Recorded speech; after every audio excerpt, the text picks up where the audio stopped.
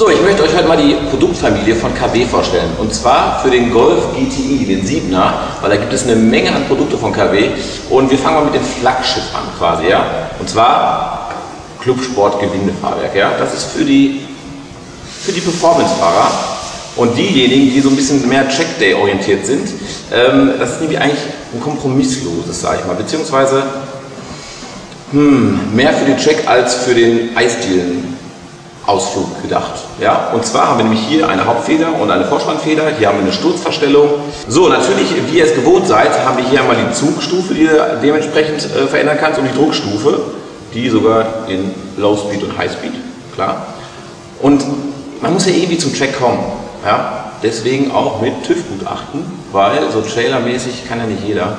Und dann bist du quasi gewappnet für die Rennstrecke. Ja, ich würde sagen, schon mal ein guter Start für den GTI. So, jetzt haben wir hier mein Liebling. Ja? Innovativ, ganz groß hier, weil du kannst elektronisch deine Kennlinien verändern. Was für Kennlinien? Letztendlich, wie hart dein Dämpfer reagiert. Ja, so sieht das aus. So, jetzt fragt euch, also ich habe jetzt einen DCC, serienmäßig bei VW. Wenn ich den jetzt tiefer lege, dann verliere ich ja quasi den Originaltaster halt, den Verstellmechanismus. Nee, tut er nicht. Weil ihr könnt da tiefer legen und es ist ein Plug-and-Play-System und dann könnt ihr trotzdem den Taster noch benutzen. Im Display steht weiterhin Komfort oder Sport, da tut sich nichts. Das geht bei anderen nicht. Hm. Also bei anderen Herstellern. Nicht für den Golf 7 GTI. So, jetzt haben wir aber den Fall, ach Sidney, ich habe aber ein konventionelles Fahrwerk, was mache ich denn jetzt? Auch kein Problem, weil dann schicken wir dir das schöne Apparätchen mit Steuergerät, mit aller Elektronik, was du brauchst und dann kannst du auch machen. Jetzt kommt der Clou, sehr innovativ.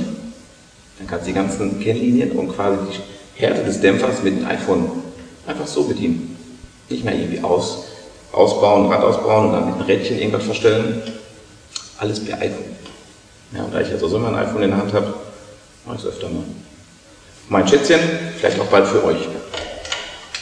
So, jetzt kommen wir zum Klassiker. Wer kennt nicht Variante 1 bis 3? Ich habe jetzt die Variante 1 hier und äh, die hat halt maximale Tieferlegung, technisch sinnvoll. Also es soll ja nicht nur tief sein, sondern auch fahren bis zu 55 mm. So ein GTI ist von Hause schon mal was tiefer, dementsprechend ist das völlig ausreichend. Und was hat es? Gutachten hat es und ist aus Edelstahl. Ja, alle Varianten sind aus Edelstahl jetzt. Da gibt nichts mehr anderes. Wer will auch was anderes? Jetzt haben wir nochmal die Fahrer, die so ein bisschen mehr auf Performance stehen, beziehungsweise ein bisschen mehr auskennen damit.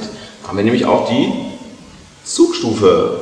Ja, Rädchen drin, hier kann sich die Zugstufe verändern. Variante 2, auch aus Edelstahl, und hier können wir einfach verstellen, ich sag's mal so, ihr kennt ja bestimmt mal diese Dehnungsfugen bei den Brücken oder diese Betonplatten. Und da möchten wir einfach mit verhindern, dass es sich aufschwenkt quasi das Heck.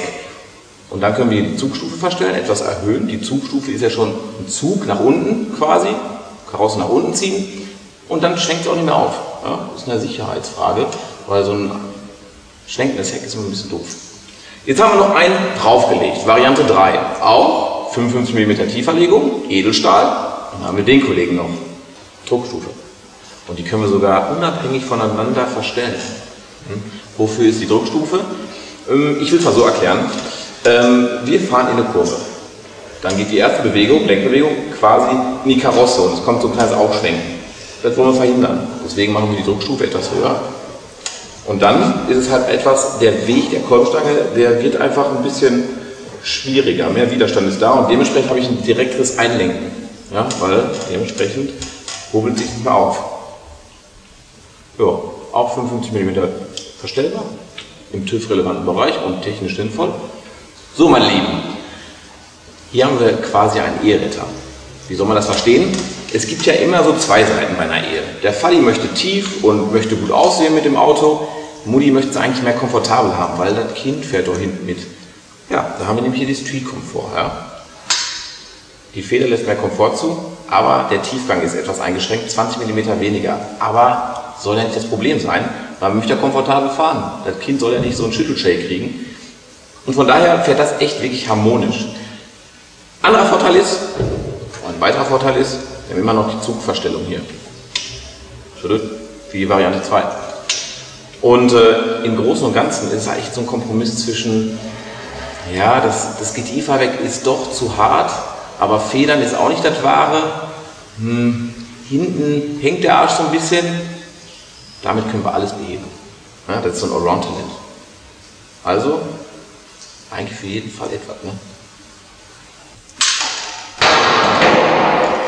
So, und was haben wir jetzt gesehen? KW hat wirklich für jeden Typ von GTI-Fahrer genau das richtige Produkt. Ja? Die machen nicht nur mal eine 0815-Variante, die machen sich Gedanken damit. Und dann sagen sie sich, oh, warte mal, der eine möchte ein bisschen mehr Komfort, der andere möchte Performance. Alles dabei. Also, wenn ihr noch Fragen habt, geht einfach mal zum Händler. Zum KW-Händler natürlich. Oder auf der Seite gucken. Oder mich fragen. Ciao.